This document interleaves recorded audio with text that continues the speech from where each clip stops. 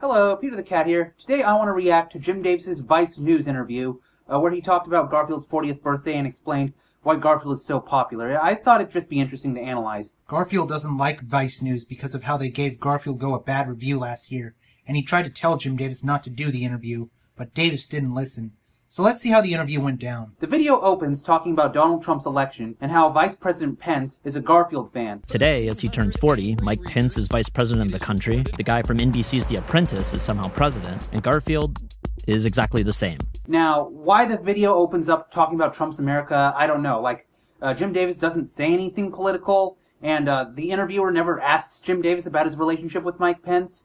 So it's it's just a really weird way to open this video. I mean, imagine if Vice decided to interview the guy that draws the family circus, and they open the video by saying something like, "In a time when Donald Trump is separating migrant children from their parents, what does it mean for Americans reading family-oriented comic strips? Let's ask Jeff Keane right now." The video then cuts to the Grand Poobah himself, Lord Jim Davis, and he's giving a meager reporter from Vice a grand tour of his palace, Paws Incorporated. The tour begins in a room filled with tons of Garfield products, and Lord Davis explains this is where he meets with agents to discuss concepts for different Garfield products. Lord Davis then guides the reporter into the art department where we see several palace artists drawing the comic strip on behalf of their wonderful master. Lord Davis explains part of his job is approving or rejecting many different Garfield products each day. How often do you have to reject something?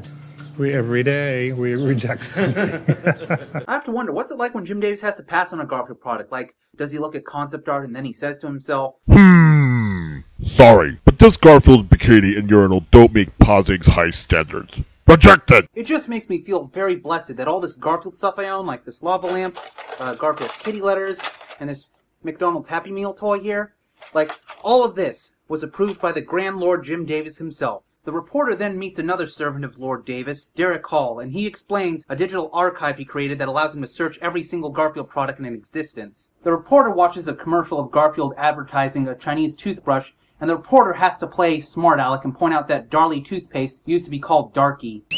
Oh, for Darlie toothpaste. You know that used to be called Darkie toothpaste? I don't know if he's like trying to search for something controversial in Garfield, but it's not really necessary. I mean, just search Garfield on parents' websites like Common Sense Media, and they always complain about what a bad influence Garfield is on children. Yeah, I'm not gonna shut up about that website. It's just too funny to read. I can't help but notice that Jim Davis does a lot of business in Asia, especially in China. Like, Garfield has appeared in Chinese children's books to teach children English. Uh, Garfield's gonna appear at a Six Flags in China. Uh, Garfield has like two million Mastercards in China, and uh, Jim Davis owns a pizza parlor in Malaysia.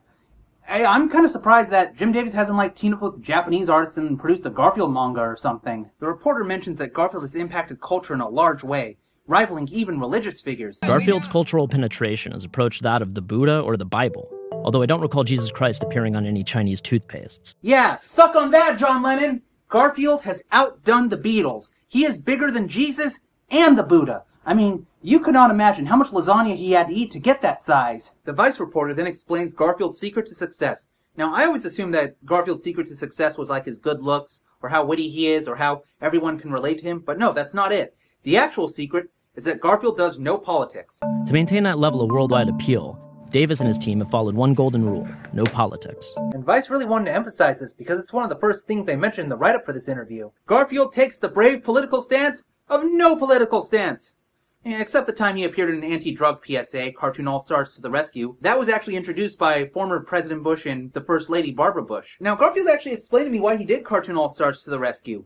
Uh, you might remember that one pipe comic that Lasagna Cat covered? Yeah, Garfield felt bad that he smoked in a family comic strip, and he wanted to set a better example for children. Now, I said in an older video that Garfield regret being in Cartoon All-Stars to the Rescue, but Garfield corrected me. What he actually regret was that he wasn't the main character and he didn't get more screen time. Yeah, it has to be all about you, doesn't it, Garfield? Lord Davis then explains why he doesn't do political humor. It doesn't translate in other countries, and it dates the comic. well, there are two problems with uh, doing something, a political comment, social comment, something like that. It doesn't translate. Right. People in other countries wouldn't understand it, or in other cultures, or at other times too. Uh, it dates the strip. You know, going, okay, that was 1983. Despite the no politics rule, that didn't stop Odie and Jim Davis from cross-dressing as British Prime Minister Margaret Thatcher. I don't know what political statement Davis was trying to make here, but I'm sure he'd say now that Thatcher jokes are too dated. Uh, it's probably a good idea you don't let Mike Pence see this picture, Davis. He's not an ally of the LGBT community. Davis explaining why he's not political is nothing new. In uh, 1987, he wrote an introduction to this Pogo book, and in it, uh, Davis explains that he doesn't do social commentary because he's not interested in doing extensive amounts of research. Um, I'm not sure who wants Garfield to be political. Like, maybe there's some Garfield fans that are like asking Davis, yeah, what do you think of Mike Pence since the both of them are friends? Or, or maybe the reporter just wanted to try and trap Davis into saying something controversial. Kind of like how Dilbert artist Scott Adams can't stop himself from making hot take after hot take. And Davis was wise enough not to fall for it. Although he forgot to tell the people in the art department to take down this one anti-Trump magazine. Whoops. The topic then shifts to merchandise and the reporter asks Lord Davis whether he considers Garfield products art. Lord Davis then enlightens the reporter and explains that Garfield is like a furry, more family friendly version of George Carlin, who says things that people wish they could say but don't. Early on, I always felt that Garfield says things that people feel but they don't necessarily have the courage to say, but they'll have it on a coffee mug. I'd like morning's better if they started later.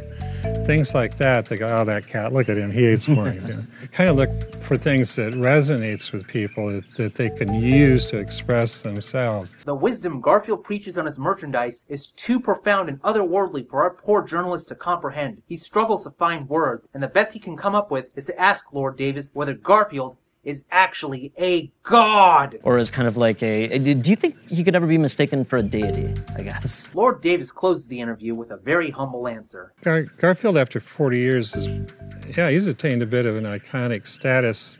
There have been movies, there have been books, there have been other things, and I certainly want him to be known as a comic strip because that's that's where he really entertains. He really struts his stuff. That's his sweet spot. And that's the interview. And I'm sorry to say, but Jim Davis doesn't truly understand Garfield, even after 40 years. Let me tell you the real secret behind Garfield's success that Garfield himself has taught me.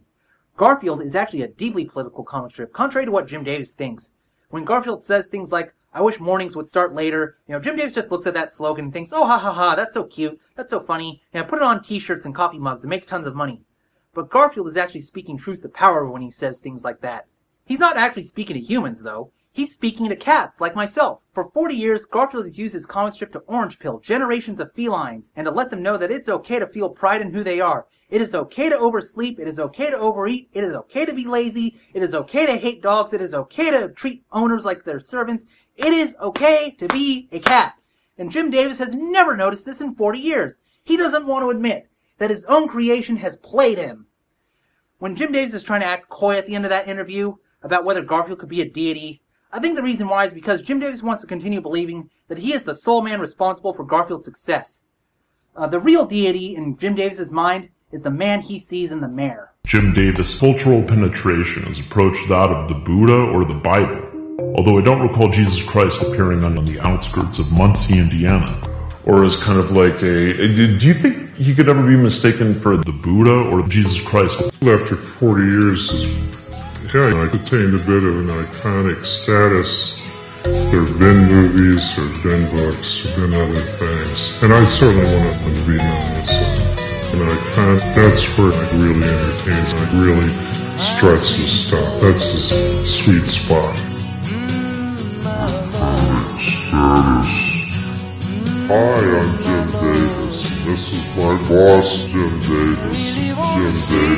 Familiarity in the U.S. is 94% with every man, woman, and child, equal to Santa Claus. There are over two and a half million Jim Davis. MasterCards in use in China. Jim Davis. Maps have been downloaded over 28 million times.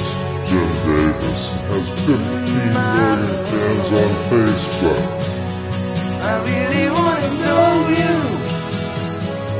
I really want to go with you. I'm Peter the Cat. I'm a student of Garfield. I hope you all enjoyed this video. Bye, everybody. What does God need with a starship? Who is this creature? I appreciate your time, your dedication, and your faith in Jim Davis.